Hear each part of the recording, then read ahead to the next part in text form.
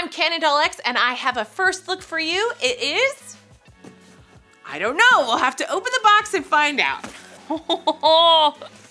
it is a box of cute, I mean, fierce Godzillas. Oh my goodness. Oh, they're so squishy. Oh, I love all these colors. So as you can see, there's four different designs. There is the Burning Godzilla, the Atomic Godzilla, the Standard Godzilla, and then the black and white classic Godzilla.